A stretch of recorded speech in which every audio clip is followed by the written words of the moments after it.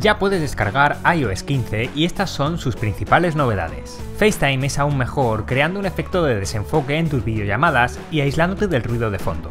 Además puedes invitar a gente a tu FaceTime incluso si vienen de Android o Windows. Próximamente podrás ver series y escuchar música a la vez con tus amigos en una videollamada de FaceTime también. Sin importar lo lejos que estés, sentirás ese nuevo capítulo de tu serie favorita como si estuvierais juntos. Los modos de concentración llegan para que nadie te moleste mientras estés trabajando, en el gimnasio o durmiendo. Podrás personalizar las notificaciones que te entran e incluso las aplicaciones que ves en la pantalla de inicio.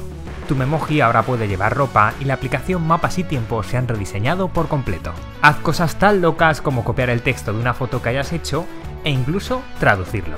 Y cientos de novedades más. Venga, ¿has actualizado a iOS 15 tu iPhone ya?